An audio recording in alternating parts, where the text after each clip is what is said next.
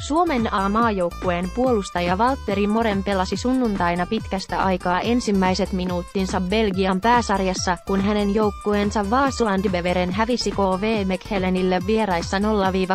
Moren 26 urakoi Vaaslandbeverenin alakerrassa täydet minuutit. Lukkaantumisista ja sairasteluista kärsinyt suomalaistoppari pelasi viimeksi Belgian liigassa kahdeksan.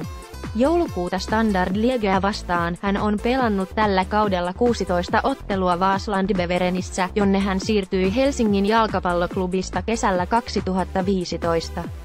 Vaaslandbeveren sijoittui Belgian liigan runkosarjassa sijalle 12 ja jatkaa pelejään jatkolohkossa, josta on mahdollisuus päästä taistelemaan paikasta Eurooppa-liigan karsintoihin. KV Mekhelen jäi sunnuntaina voitosta huolimatta liigassa viimeiseksi, ja sitä odottaa putoaminen toiselle sarjatasolle. Jere Uronen taas pelasi 90 minuuttia Genkin vasempana laitapuolustajana, kun joukkue hävisi Gentille kotonaan 1-2. Genk sijoittui runkosarjassa viidenneksi ja jatkaa pelejään mestaruuslohkossa.